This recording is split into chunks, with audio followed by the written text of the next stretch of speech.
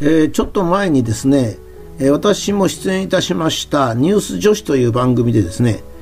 沖縄の暴力的なデモについて、まあ、放送を行ったところそれがあの人権の侵害になるということで放送倫理委員会に訴えられたりしましてね。それで放送倫理委員会がまたその審議に入るというようなことが起こってですねこの普通でしたら今までまあ日本人はですね戦後の憲法で人権が守られてると思ってたんですけど私はもう非常にびっくりしましたね。あの私たちが放送した方がの人権が守られないんですよ。えー、デモは実際暴力的でしたから、まあ、暴力的なデモと言って別に差し支えないんですが事実を言った方がですね批判にさらされるようなことになったわけですね。で私はそう思えばですねえー、私たちがあ、まあ、あ明治時代とかそういう時代に経験したいわゆる一部の人権の侵害というのが、まあ、その後のアメリカ軍の勝利とアメリカ軍による占領によってですね曲がって伝えられまた曲がった政策が取られて最近ではむしろですね危機に瀕する日本人の人権っていうのはですね実は全然別のところにあるんではないかと、まあ、いうふうにまあ強く思うようになったわけですね。それでまあこのシリーズを書くまでにですね少しその人権というのは一体何なんだと いうこととですねそれから現在危機に瀕している人権というのは一体誰の人権が危機に瀕しているのかと、まあ、いうことをちょっと考えたわけであります。まあこのシリーズはもちろん多くの人に、見てもらいたいんですが聞いてもらいたいんですがぜひとも本当はですよ本当は弁護士の人とかマスコミの人とか先生方とかそういうふうに従来人権を守ろうと言ってた人たちにですね少しお聞きいただいてですねそして日本人の人権が本当に守られてるかどうかということを、まあ、再度考えていただきたいと、まあ、こういうふうに思って、まあ、このシリーズを始めるわけですね。私がこのシリーズを始めるにあたって一番ひどい人権が守られてないっていうのがやっぱり刑事裁判の有罪率99.6%から99.9%という数字ですね。まあ、日本人の人権の守り方っていうのもあるんですが、まあ、最終的にはですね 自分が罪に問われてそして裁判所に引きずり出された時に私に弁護士がついて私が無実の罪の時にはその無実をちゃんと守ってくれる。これがまあ、なんたって人権の中では一番重要でしょうね。なんすたって裁判になって自分が刑事事件の犯罪人になるか、それとも無罪になるかっていうとこですからね。しかしそれが刑事裁判の有罪率99.6%ということは、私たち庶民から見ればですね、実は日本には裁判所がないと言っていいわけですね。どうしてかって言いますと99.6%という数字をですねもう少し具体的に言いますと1000人の人が犯人として、えー、警察に検挙され、えー、その検察に行き送られ逮捕されて検挙されて検察に行き裁判で起訴された人が1000人としますとその1000人のうち裁判所で有罪になる人が996人。無罪になる人はたった4人なんですよ。まあ人によってはヘリクスを兼ねて、たった4人でもちゃんと4人いるじゃないかと。だから裁判所は機能してるんだっつったってですね、それはまあ、中学生の男の子が言うような、まあいわばヘリクスであってですね、もちろんヨーロッパとかアメリカでは、えー、有罪率は60から80%、まあ、大体60から70%、つまり3分の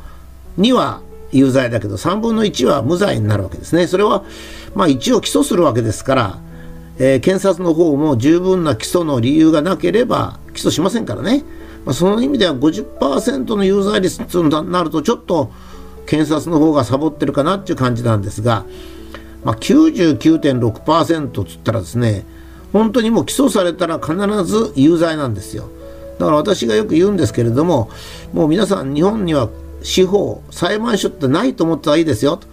だから検察に睨まれたらもう絶対に有罪ですよってこう言ってるわけですね。まあ時々新聞にはですね、えー、再審によって逆転無罪とかっていうのが出ますけどもそれは一審二審最高裁と有罪になってそれをまあ粘り強く社会の運動を起こしてそして弁護士さんも生涯の仕事として弁護に努めそして再審が開始されるという非常にレアケースだけが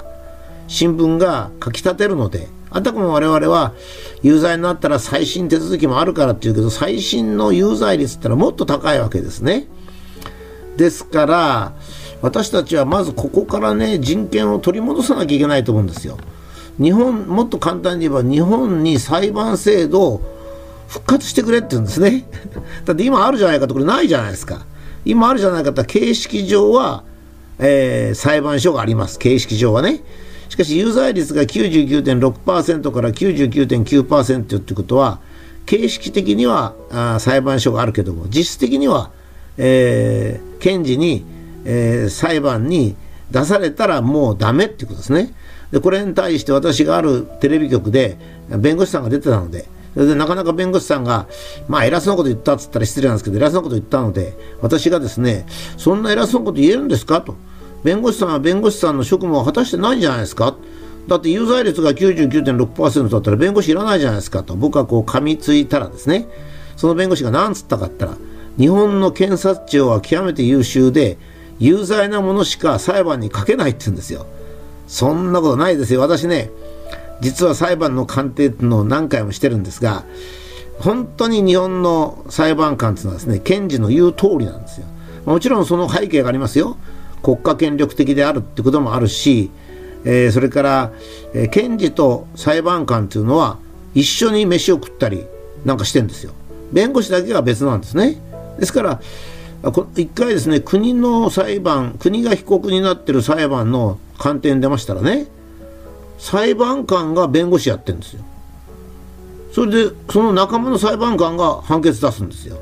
こんなのいくらやったって負けに決まってるじゃないですか僕ら弁護側だから。だから、まあ、負けましたけどね。それはいつも飯食ったり友達だったり時々裁判官になったり判事だの検事になったりしてればですね、まあ、情も移るし考え方も似てきますからね。そういう制度を許してるわけです。これは日本国を守るためにという理由でまあ分かりませんよ今民主主義とか言ったってこんな状態で民主主義が守れるはずないんですね国のまあ個人を切り捨てるっていう点では僕は明治時代が悪いんじゃないかと思うんですね。それからまあ聞くところによると裁判官の人事権っていうのがですね最高裁判所えそ事務総局っていうかなそこの官僚に一点握られてて、えー、裁判官はその人事にビクビクしてるって言うんですよ。まあ、実際上ですね、えー、高浜原発かなんかの、えー、原発訴訟でですね、え原発運転差し止めを命じたあ地方裁判所の裁判官はその後すぐ、えー、どこかの私の近くなんですけどどっかの、えー、家庭裁判所か簡易裁判所の判事に落とされましたね。それはもうあの裁判官はもう全部が見てるわけですよ。だからそういうその最高裁判所事務総局の存在だとか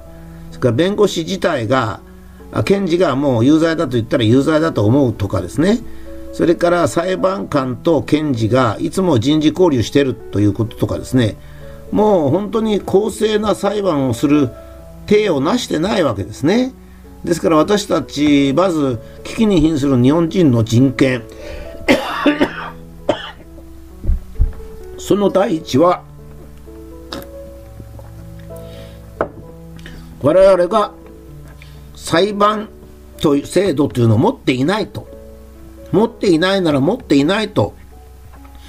教えてくれればいいんだけど小学校で習うのは日本は三権分立であって行政立法司法とこうなってると。いうふうに教えられているんですが全く現実は違うと。いうことですね。これについていわゆる人権を守る人たち。まあいかがわしいけど朝日新聞とかいうのは全く問題にしません。っていうのは朝日新聞とかそういうもの自体が冤罪を進めてるところなんですね。人権を守ると言ってるリベラルとか平和主義者とか、まあ、左翼とか日本弁護士会といったそういったところはですねあたかも人権を守ろうとはしてるけれどもこの刑事裁判の有罪率99.6なんかをそのままにして私が質問すると検察がお利口さんだからこのぐらいはしょうがないんだっていう 返事が来るっていうことでですね。これはやっぱり私たちが自分たちでこれからこの有罪率をもっと減らしてですね。で有罪無罪を獲得しない裁判官弁護士はもうクビと いうぐらいにしたりですね、え、無罪が長年の間にわたって獲得できない弁護士は、えー、新聞が名前をとか NHK が名前を公表すると、